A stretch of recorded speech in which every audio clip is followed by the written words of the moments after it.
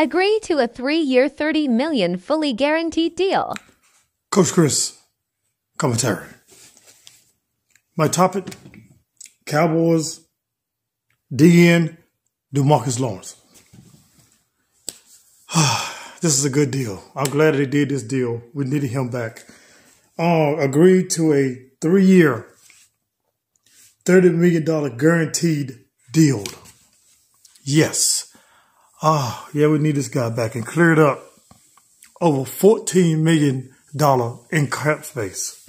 So that is, that is a good move for the Cowboys. We're freeing up space so we can find, uh, sign some free agents and sign, uh, our, uh, draft picks. So good move by the Cowboys. I'm glad to have, uh, Demarcus Lawrence back. Yes. We need him to this defense. Um, like I said, hopefully we have a healthy season and uh, we're gonna make a run at the Super Bowl, and uh, he gonna play a big part in it. So uh, this is a good move. Good job, Jerry Jones. Good job, Stephen Jones.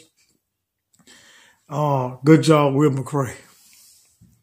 Uh, so once again, Cowboys, Demarcus Lawrence signed a three-year, $30 million fully guaranteed deal. Coach Cris commentary. I'm out.